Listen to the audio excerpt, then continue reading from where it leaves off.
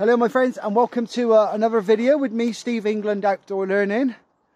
Um, it's on a sunny Sunday afternoon, we've had storms, horrendous storms and uh, I've had a chance to come out with my friend Harry Phillips and we're here at King's Weston Estate uh, in between showers and I'm just walking along this pathway here and I saw something that's caught my eye and uh, I just wanted to show you because this is something really good for fire. I'll turn the camera around guys and I'll show you.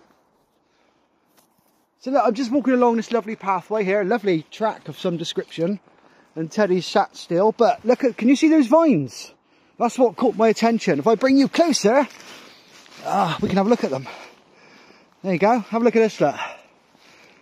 This is a vine called Wild Clematis, also known as Traveller's Joy or Old Man's Beard. And this particular vine sheds its bark naturally like this, look. You see it shedding its bark? Look at that.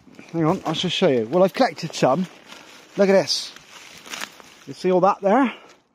That is absolutely fantastic for fire. So, being an opportunist, and you always have to be an opportunist, especially in the world of bushcraft, is when you see resources like this, look, can you see that there? Look, it's just falling off naturally, look, can you see it?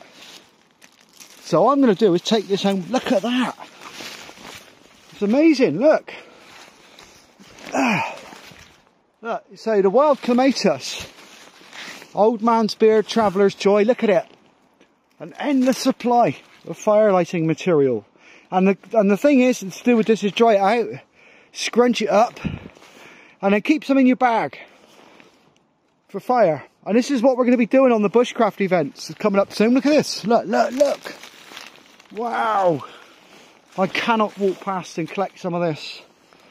So there you go guys, a little short video on wild clematis, old man's beard, and they produce nice flower heads as well.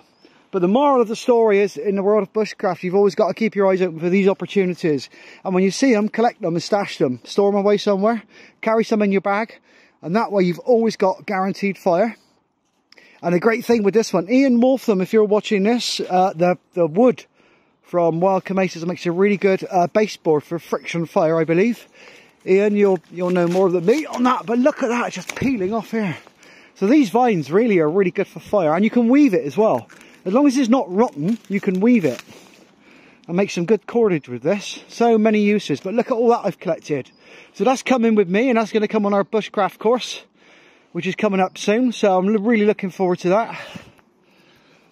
So there you go guys, the moral of the story is in the world of bushcraft or just walking around, always keep your eyes open for these opportunities and take them, take the opportunities. There's loads of it. Can you hear that male nuthatch up there?